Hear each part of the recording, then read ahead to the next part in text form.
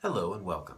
A little bit of a change of venue here. You'll notice an absence of swords behind me, but I've tried to nerd this area up as best I can for you. You'll notice a Cyberman over here, and there's a Luke up there, and a uh, Darth Maul up there, so that's, that's a token effort. Um, but uh, hopefully you'll forgive the uninterestingness of the, of the setting here uh, when it comes, or when we, we start talking about the, what is truly interesting, which is the topic of the video, acrylic blades. Now let me go ahead and introduce you to this one and then we'll start talking about what they are, where they come from, and what they're good for. Alright, so this specific blade is a uh, Spartan blade from Ripper Blades. Uh, I'll do a review specifically on this blade, but for this video I just wanted to talk about the concept of acrylic blades uh, so that uh, you guys can know what's going on out there in the market right now. You see a lot of these things floating around and a lot of discussion and a lot of comments, so wanted to get up close and personal with them. First off, I wanted to start with the history of the acrylic blade. Uh, a while back there was a craze for black blades. Now this was something that you saw in the video games, Knights of the Old Republic, Force Unleashed. Uh, you saw it, in the, or you see it these days in the TV series with the black blade of Pre Vizsla. Um, the idea of a solid black core on a blade with a, uh, with a glow around it.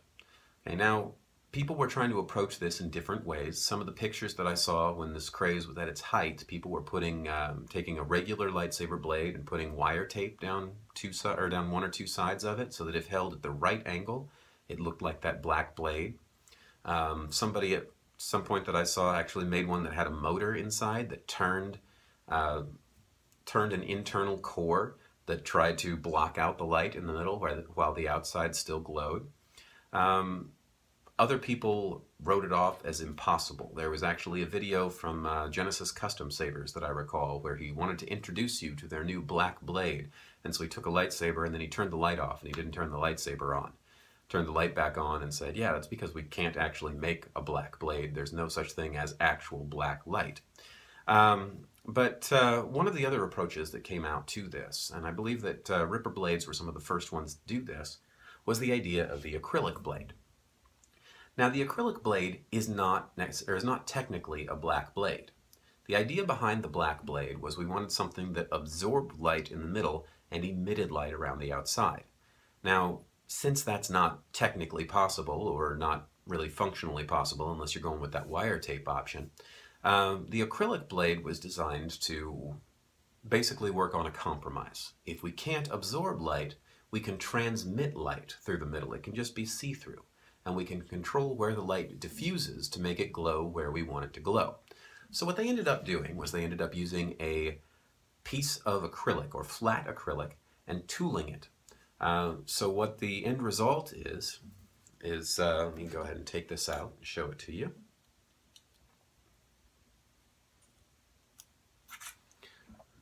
Okay, we have a flat piece of acrylic attached to a one inch circular plug so that it fits in most LED lightsabers. Uh, inside here, specifically on the rippers, it's sort of curved so that it picks up the light and tries not to lose very much of it outside. There's some hot glue here for diffusion. Uh, but the light enters through here, travels up the blade in much the same way that uh, if you've ever seen those bistro boards with, with, these special markers, it's a black board but it glows where the marker uh, hits. Uh, also some custom signage is done like this with flat acrylic. Basically anywhere that it's clear, the light just keeps moving. Anywhere that it's not clear or tooled, the light is going to glow right there. Okay, so this is basically the design of them.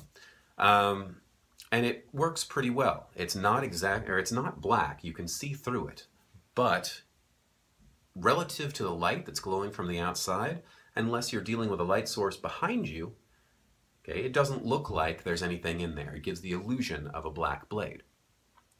Right now, um, there are about a dozen people who make these, from what I've been told. I've found three or four.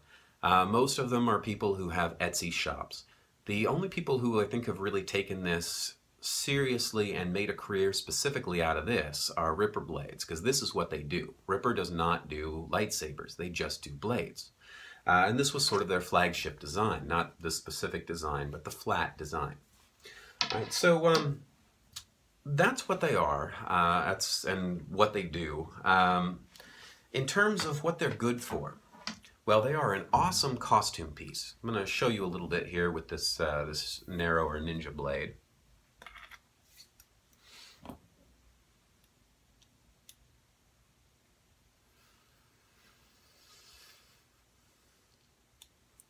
So if you're looking for something that's off canon as a costume piece, an energy blade or something like that, then an acrylic is definitely the way to go.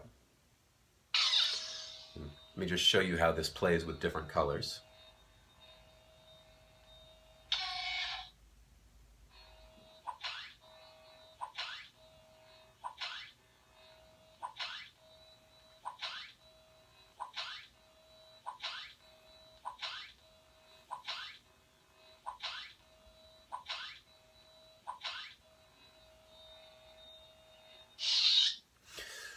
So it plays really well with whatever color you put through it. Some acrylic blades actually use dye to control this color in much the same way that a day blade does. You could dye the lightning itself or you could dye portions of the blade to control what color is going to come out through there. Some of the more expensive ripper blades actually use this. They've got the dye on them. Some of them I've seen have a specific pattern with dye at the base so that the base is a different color from the rest of the blade. Uh, you can just paint on it and control that effect. Um, they're really awesome for costume pieces, as I mentioned, for cosplay. These things also work for shelf queens. If you're going to have your saber sitting up on a shelf, turn it on every so often or use it as a light source, this is a really interesting way to go. In terms of actual use, though, there's some limitations to this. Uh, you don't use these for full-on dueling. The reason is that they are brittle. They're also quite a bit heavier than a standard blade. Okay, now in this uh, area in here where it's attached, uh, there's acrylic weld in here attaching it to this tube. If you hit it on something, that weld can snap. Alternately, the blade itself is material that can snap, if, especially if I hit it with, this, with the flat, it can snap just like any acrylic could. It doesn't have the durability of polycarbonate. Now, their uh, Saber Forge actually makes some axe blades that use this flat technology that are polycarbonate. They're still more fragile than the standard blades. They still weigh a lot more, which actually makes them, or is part of what makes them more fragile. The polycarbonate doesn't transmit the light as well as the acrylic does, so you end up with kind of a matte finish on those, and it doesn't reach the edges quite as well in terms of light. Works fine when you're dealing with something this size, but if you're dealing with something this size, not going to work out too well for you. So um, they're fragile. In terms of uh, what use you can put them to, they do still work for spinning, provided that you're careful or for really careful choreography where you are in definite control of any hits that, uh, or being able to pull any hits that you might actually land. Okay, in spinning, as long as you're careful, these work fine. There is one element to them though that you don't get with a uh, that you don't get with a circular or with a uh, tube blade. These things are directional because they're flat. Okay, what that means is that as long as I'm swinging with the edge, I don't have too much problem. I've actually got a little bit more control than I do with a tube blade that has a drag to it. However, if I start swinging with the flat, I lose control and I lose speed. Now you can actually hear it when I swing it. So I'm going to step back a little bit and I'm going to swing this one for you. Uh, you might have to turn your speakers up a little bit to catch this. Okay, here is with the edge.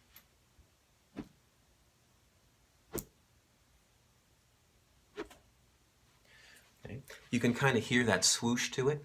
Now watch what happens if I try to swing with the flat.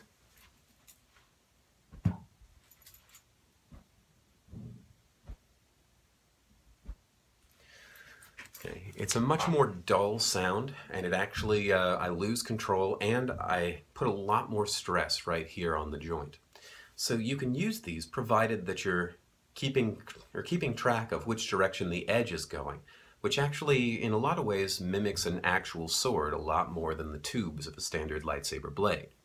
That effect, however, is amplified in this uh, acrylic over what it would be in a sword, because metal is heavier than acrylic, so you're ending up with more wind resistance, less weight to account for that. So just something to keep in mind with, you or and keep in mind rather. You can spin with them, you can technically do choreography with them, you can't duel with them. Uh, these things though, they are pretty neat. Um, I would highly suggest that at some point, if you've got a lightsaber collection and you're really into this hobby, you might pick one up because otherwise you know you're just going to be curious about it until you do. Um, however, like I said, they're, they're more for the costume, photo, or performance uh, venue than they are for dueling. So if all you do with your saber is go out to Saber Legion and beat the hell out of people with it, this is not for you. Uh, so hopefully that has been of use to you. Um, brief introduction to acrylic blades and what they are. They're becoming an increasing force in the market. More people are making them. There are more of them around. So I thought it might be in your interest to, uh, to get a little bit up close and personal with them. Uh, if you've enjoyed this, please come back for other reviews and subscribe.